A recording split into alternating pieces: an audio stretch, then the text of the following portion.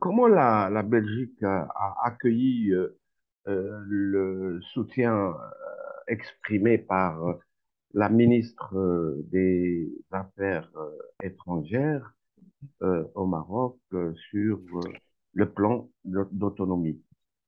Ben, on s'en réjouit, et moi je m'en réjouis doublement. Tout d'abord comme président du comité belge de soutien au Sahara.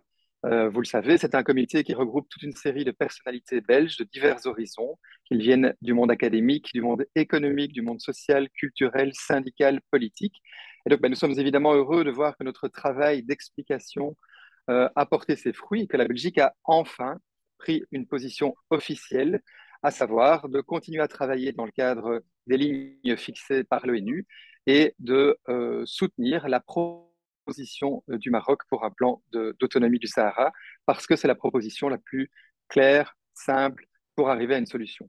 Et en tant que député socialiste, je suis évidemment très heureux, ainsi que tous mes collègues socialistes du Parlement, puisque vous le savez, euh, la Belgique entretient avec le Royaume du Maroc des relations bilatérales depuis plus de 150 ans.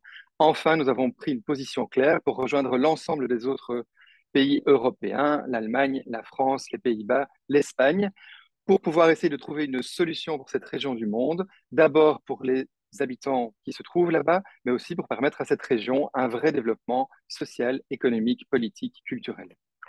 Euh, Est-ce que les, parlementaires euh, belges euh, vont contribuer par cette position au Parlement de Strasbourg pour consolider cette position de, de la réalité, de la vraie réalité qu'est le plan d'autonomie et la solution proposée par le Maroc.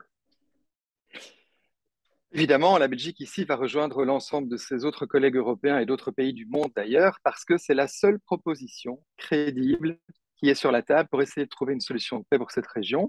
Et donc, nous allons évidemment tout faire pour essayer de vous aider. Vous savez qu'en Belgique, on a beaucoup d'expérience en matière de compromis pour euh, essayer de trouver des solutions. Et donc, euh, c'est bien volontiers qu'on vous aidera à essayer de solutionner euh, cette guerre d'usure diplomatique qui dure depuis bien trop longtemps et qui doit absolument trouver une, une solution de paix.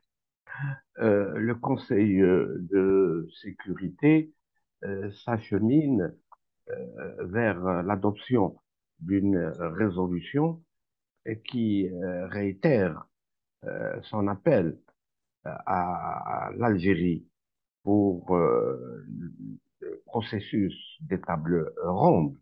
Et elle a cité euh, l'Algérie quatre euh, fois comme partie prenante dans ce conflit. Que pensez-vous?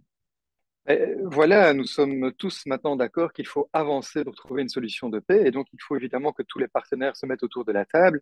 Et donc je pense qu'il est plus que temps de changer son fusil d'épaule, et ceux qui euh, ne veulent pas avancer vont être mis au banc euh, du concert des nations, puisque euh, ce conflit a duré depuis bien trop longtemps et on ne peut pas continuer à faire la chaise vide. Il faut essayer de trouver des solutions de paix pour cette région du monde, et c'est ce à quoi la Belgique vient de s'engager maintenant.